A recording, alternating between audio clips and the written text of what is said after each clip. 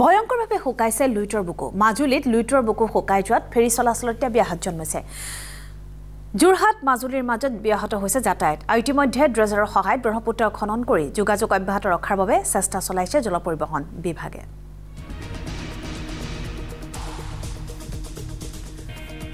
আমি জনাইছোঁ পুনৰবাৰ নিউজে দৰ্শকলোক যে ভয়ংকৰভাৱে শুকাইছে এটা লুইটৰ বক্ষ। মাজুলীত লুইটৰ বুকু শুকাই যোৱাত এতিয়া ফেৰী চলাচলত ব্যাঘাত জন্মিছে যোৰহাট মাজুলীৰ মাজত ব্যাহত হৈ পৰিছে যাতায়াত ব্যৱস্থা। ইতিমধ্যে ড্ৰেজাৰৰ সহায়ত ব্ৰহ্মপুত্ৰ খনন কৰি যোগাযোগ অব্যাহত ৰখাৰ বাবে চেষ্টা চলাইছে জল পৰিবহণ বিভাগে।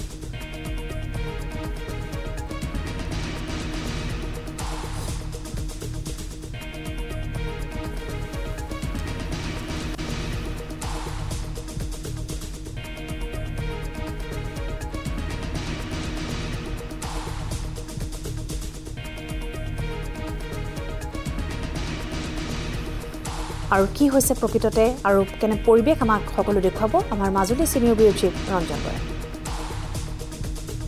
ব্ৰহ্মপুত্ৰ নদী অস্বাভাৱিকভাৱে শুকাই যোৱাৰ বাবে এই মুহূৰ্তত মাজুলী নিমাতী ঘাটৰ মাজত ফেৰী চলাচল বন্ধ হৈ আছে আৰু এই মুহূৰ্তত পৰিৱেশ দেখুৱাইছোঁ মই। মাজুলীৰ উপায়ুক্ত মাজুলীৰ আৰক্ষী অধীক্ষক আৰু মাজুলীৰ বিধায়কে এই মুহূৰ্তত যি স্থানত মাজুলী নিমাতী ঘাটৰ মাজত যি স্থানত ফেৰী সেৱা বন্ধ হৈ আছে সেই স্থান পৰিদৰ্শন কৰিবলৈ এই মুহূৰ্তত আহিছে। কিন্তু এই মুহূৰ্তত যথেষ্ট পানী কম আছে ব্ৰহ্মপুত্ৰত। যাৰ বাবে এই মুহূৰ্তত যিখন দ্ৰুতগামী ফেৰী আছিলে সেই ফেৰীখন এই মুহূৰ্তত আবদ্ধ হৈ পৰিছে নদীৰ মাজতে আৰু আমি আন এখন দ্ৰুতগামী ফেৰীত আহি আছোঁ। এই মুহূৰ্তত পৰিৱেশ দেখুৱাব কেমেৰাচন পুলকে। মাজুলী নিমাতী ঘাটৰ মাজত অস্বাভাৱিকভাৱে ফুকাইছে ব্ৰহ্মপুত্ৰ নদী যাৰ বাবে মাজুলী যোৰহাটৰ মাজত ফেৰী সেৱা আজি নৱম দিনৰ বাবে বন্ধ হৈ আছে। আৰু এই মুহূৰ্তত পৰিৱেশ দেখুৱাইছোঁ মই ব্ৰহ্মপুত্ৰ নদীৰ মাজত। বিভিন্ন ঠাইত চাপৰি পাতিছে ব্ৰহ্মপুত্ৰ নদীয়ে আৰু পানী দ্ৰুতগতিত শুকাই যোৱাৰ বাবে ব্ৰহ্মপুত্ৰ নদীত এই মুহূৰ্তত অস্বাভাৱিকভাৱে পানী শুকাইছে আৰু যাৰ বাবে মাজুলীৰ নিমাতী ঘাটৰ মাজত যিসমূহ যাত্ৰীবাহী ফেৰী আছিলে যিসমূহ মালবাহী ফেৰী আছিলে সকলো ফেৰী সেৱা বন্ধ কৰিবলৈ বাধ্য হৈছে জল পৰিবহণ বিভাগ আৰু এই মুহূৰ্তত পৰিৱেশ দেখুৱাইছে মই যথেষ্ট পানী কম আছে। আমাৰ নাওখন এই মুহূৰ্তত আবদ্ধ হৈছে নদীৰ মাজত।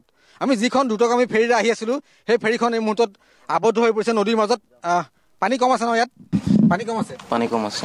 পানী কম থকাৰ বাবে এই মুহূৰ্তত ইঞ্জিন বাৰে বাৰে বন্ধ হৈ গৈছে আৰু প্ৰায় দুফুটৰ পৰা ডেৰ ফুট পানী আছে এই য'ত আমি উপস্থিত আছোঁ এই স্থানত আৰু এইটো হৈছে মাজুলী নিমাতী ঘাটৰ মাজত ফেৰী চলাচল কৰাৰ মূল পথ মূল জলপথ আৰু এইবোৰ মই দেখুৱাইছোঁ উপায়ুক্তৰ ফেৰীখন আবদ্ধ হৈছে যিখন ফেৰীত উপায়ুক্ত আহিছে যিখন ফেৰীত মাজুলীৰ বিধায়ক আছে মাজুলীৰ আৰক্ষী অধীক্ষক আছে সেই ফেৰীখন এই মুহূৰ্তত কম পানী থকাৰ বাবে ইয়াত আবদ্ধ হৈ যাব লগা হৈছে। আৰু এইটোৱে পথ যিটো পথেৰে নিমাতী মাজুলীৰ মাজত ফেৰী চলাচল কৰে এই পথটো এই মুহূৰ্তত যথেষ্ট পানী কম আছে যাৰ বাবে এই পথটোৰে যাতায়াতৰ যাতায়াতৰ ক্ষেত্ৰত নাও চলাচলৰ ক্ষেত্ৰত যথেষ্ট অসুবিধা হৈছে আৰু সেই অসুবিধাৰ বুজ ল'বলৈ এই মুহূৰ্তত উপায়ুক্তগৰাকী মাজুলীৰ বিধায়কৰ সৈতে ইয়ালৈ আহিছে আৰু পৰিৱেশ দেখিলে আপুনি অনুমান কৰিব পাৰিব যে ব্ৰহ্মপুত্ৰ নদীত এই মুহূৰ্তত দ্ৰুতগামী ফেৰী যিকেইজন এছ ডি আৰ এফৰ জোৱান আছিলে তেওঁলোকে খোজকাঢ়ি এই মুহূৰ্তত ফেৰীখন ঠেলি ঠেলি নিব লগা হৈছে।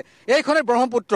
মহাবাহু ব্ৰহ্মপুত্ৰৰ এক দুখ দুখ লগা এটা এখন ছবি যাৰ বাবে মাজুলী নিমাতী ঘাটৰ মাজত ঐতিহাসিক যুগ যুগ ধৰি যিটো ফেৰীঘাট চলি আছিলে সেই ফেৰীঘাটটো এই মুহূৰ্তত বন্ধ হৈ গৈছে। দহ দিন ধৰি ফেৰীঘাটটো বন্ধ হৈ আছে আৰু কেতিয়ালৈকে ফেৰীঘাটটো খুলিব তাৰ কোনো নিৰ্দিষ্ট সময়সীমা এই মুহূৰ্তত নাই। সম্ভাৱনা যথেষ্ট কম কাৰণ ব্ৰহ্মপুত্ৰৰ অস্বাভাৱিকভাৱে শুকাই যোৱাৰ ফলত ব্ৰহ্মপুত্ৰ নদীৰ জলস্তৰ কমি গৈছে যাৰ বাবে এই মুহূৰ্তত মাজুলী নিমাতী ঘাটৰ মাজত ফেৰী চলাচল অনিৰ্দিষ্ট কালৰ বাবে বন্ধ হৈ পৰিছে। আৰু ফেৰীৰ চলাচলৰ যিটো জলপথ আছিলে সেই জলপথটো ব্ৰহ্মপুত্ৰ নদীখন এখন বিশেষ প্ৰযুক্তিৰ জাহাজেৰে খান্দিবলৈ এখন জাহাজ ইয়াত এই মুহূৰ্তত ইয়ালৈ অনা হৈছে। জাহাজখন আমি কেইটামান মুহূৰ্তৰ পিছতে জাহাজ জাহাজ য'ত আছে সেই স্থলী আমি পামগৈ। কিন্তু এই মুহূৰ্তত আমি পৰিৱেশ দেখুৱাইছোঁ। ব্ৰহ্মপুত্ৰ নদীত এই মুহূৰ্তত এছ ডি আৰ এফৰ জোৱানে খোজকাঢ়ি নাৱত টানি লৈ গৈছে। আৰু এইখনেই হৈছে ব্ৰহ্মপুত্ৰ নদী। যিখন ব্ৰহ্মপুত্ৰ নদীত বাৰিষা কালান্তক ৰূপ লয় যিখন ব্ৰহ্মপুত্ৰ নদীত বাৰিষা ভয়াৱহ ৰূপ লয় সেইখন বাৰিষা ভয়াৱহ ৰূপ লয় ব্ৰহ্মপুত্ৰ নদী এই মুহূৰ্তত দুখ লগা এখন ছবি মই দেখুৱাইছোঁ। এছ ডি আৰ এফৰ জোৱানে এই মুহূৰ্তত ব্ৰহ্মপুত্ৰ নদীত আমাৰ নাওখন এই মুহূৰ্তত টানি টানি টানি লৈ গৈছে। দ্ৰুতগামী ফেৰী যিখন ফেৰীত আমি আহিছিলোঁ এই ফেৰীখন এই মুহূৰ্তত দেখুৱাইছোঁ আমি। টানি টানি এছ ডি এফৰ জোৱানে এই ফেৰীখন এই মুহূৰ্তত লৈ গৈছে। পানী প্ৰায় ডেৰ ফুটৰ পৰা দুফুট পানী আছে আঁঠু পানী আছে আৰু এই একাঠু পানীত এছ ডি এফৰ নাওখন এই মুহূৰ্তত খোজকাঢ়ি টানি নিব লগা হৈছে। পৰিৱেশ দেখুৱাইছোঁ মই। পোনপটীয়া সম্প্ৰচাৰ যোগে মাজুলী নিমাতী ঘাটৰ মাজত যি জলপথ আছিলে সেই জলপথৰ পৰা আমি পোনপটীয়া সম্প্ৰচাৰ দেখুৱাইছোঁ। এয়াই হৈছে ব্ৰহ্মপুত্ৰ নদীৰ নদীৰ দুৰৱস্থা। আৰু মহাবাহু যি ব্ৰহ্মপুত্ৰ নদী আছিলে এই ব্ৰহ্মপুত্ৰ নদীত এই মুহূৰ্তত ভয়াৱহ ৰূপ লৈছে ব্ৰহ্মপুত্ৰ জলস্তৰে কাৰণ বাৰিষা কালান্তক ৰূপ লোৱা ব্ৰহ্মপুত্ৰৰ এই মুহূৰ্তত যথেষ্ট শুকাই গৈছে আৰু যথেষ্ট পানী কমি গৈছে।